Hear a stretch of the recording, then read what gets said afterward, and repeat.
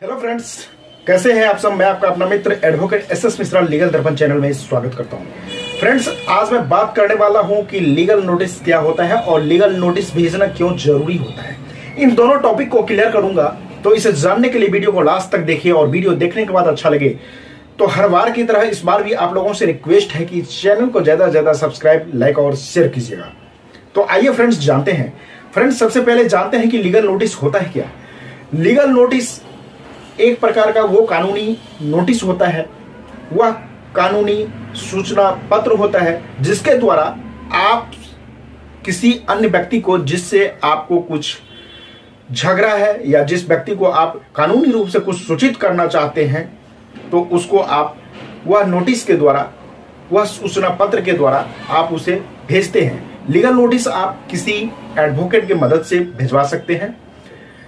Legal notice में उन सभी चीज़ों को लिखा जाता है, उन सभी बातों को लिखा जाता है, जिस बात के लिए उस व्यक्ति से आपको डिस्प्यूट रहता है।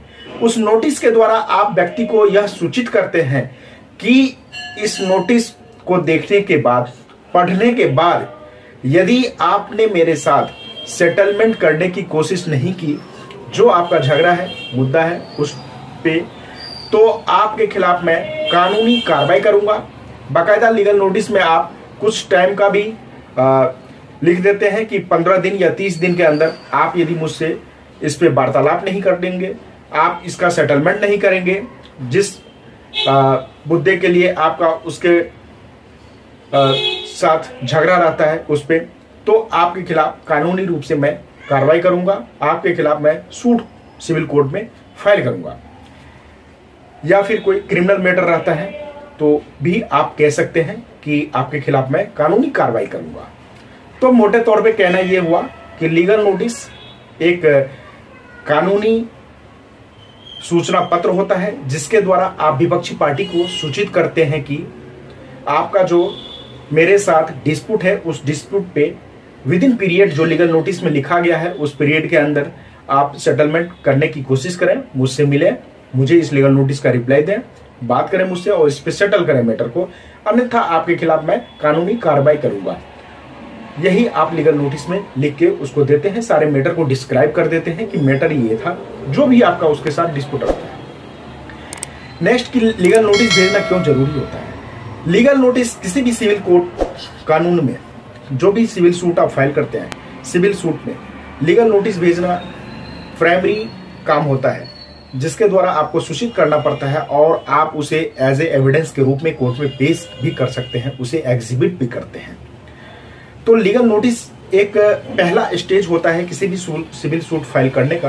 क्रिमिनल केस में जो 138 का मैटर है चेक बॉन्स का मैटर है NI act 138 section cheque bounce का जो मैटर है, उसमें भी लीगल नोटिस भेजना मैंडेटरी होता है।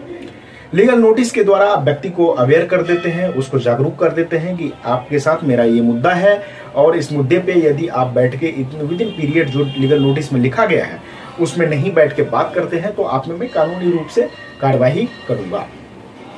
यह आप उसको सूचित कर देते हैं।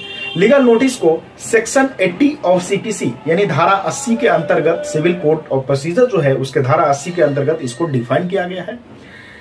तो लीगल नोटिस एक प्रकार से समझ लीजिए कि एक प्राइमरी पत्र होता है जिसके अंतर्गत सामने वाले पार्टी को सूचना भेजा जाता है। तो इस तरीके से लीगल नोटिस भेजना मैंडेटरी होता है। एज पर एग्ज़ाम्पल के लिए उदाहरण के तौर पे यदि मैं बताऊँ तो मान लीजिए कोई रिकवरी सूट है। सिविल की बात करता हूँ। सिविल में यदि आप रिकवरी सूट फ़ाइल करते हैं, किसी से आपको पैसे लेना है तो उसके लिए आप पहले उसको लीगल नोटिस भेजते हैं। ऐसा उसमें मैंडेटरी नहीं है, लेकिन आप लीगल नोटिस उसको भेजते हैं।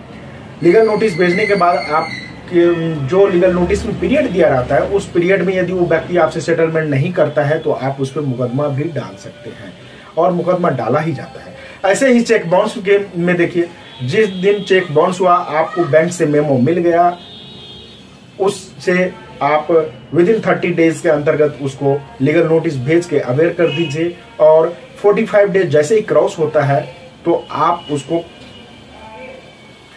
पेटिशन 138 का किसी भी क्रिमिनल कोर्ट में, जो एमएम के कोर्ट होते हैं, दिल्ली में मेट्रोपोलिटन मजिस्ट्रेट का कोर्ट और अन्य डिस्ट्रिक्ट में सीजीएम का कोर्ट होता है चीफ मेट्रोपोलिटन मजिस्ट्रेट में, उस कोर्ट में आप उसका पेटिशन फ़ाइल करते हैं। चेक बाउंस का केस क्रिमिनल केस होता है और ऑर्डिनरी रिकवरी सूट जो होता है वो सिविल का केस होता है। तो दोनों ही स्थिति में आप कानूनी रूप से उसको एक कानूनी पत्र जिसे लीगल नोटिस के नाम से जाना जाता है वो भेजते हैं। तो इस प्रकार से आप लोग मोटे तौर पे ये जानिए कि लीगल नोटिस वो नोटिस होता है जिस नोटिस के द्वारा आप विपक्षी पार्टी को सारे मैटर के बारे में सूचित करते हैं उसमें पीरियड लिखते हैं। उस पीरियड के अंतर्गत उसने बो, आप बोल देते हैं कि इतने दिन में आप मैटर को सुलह करें अन्यथा आप पे कानूनी रूप से कार्यवाही हम करेंगे। और आप उसके बाद कानूनी रूप से कार्यवाही करने के लिए तत्पर हो जाते हैं, क्योंकि आपके पास आपने जो टाइम दिया है, उस टाइम में यदि वो सेटल नहीं करने के लिए आते हैं या रिप्लाई नहीं भेजते हैं तो आप कानूनी रूप से कार्रवाई उस पर कर सकते हैं। और लीगल नोटिस को एविडेंस के रूप में भी आप कोर्ट में पेश कर सकते हैं कि मैंने उनको पहले ही अवेयर कर दिया था। ये चीज़ बता सकते हैं। तो लीगल नोटिस मैंडेटरी होता है किसी भी केस के लिए तो लीगल नोटिस भेजना नहीं भूलें। लीगल नोटिस से पहले पार्टी को सूचित कर दे। हो सकता है लीगल नोटिस भेजने के बाद ही आपका मैटर सुलझ जाए। तो इस तरीके से आई होप कि आप लोगों को पता चल गया होगा कि लीगल नोटिस क्या होता है और लीगल नोटिस भेजना क्यों ज़रूरी होता है। फिर भी कोई कंफ्यूजन हो तो आप मुझे कमेंट करके पूछिए, मैं उसका जवाब देने का कोशिश करूँगा। आज तक के लिए इतना ही, फिर मिलेंगे नेक्स्ट वीडियो में। तब तक के लिए धन्यवाद।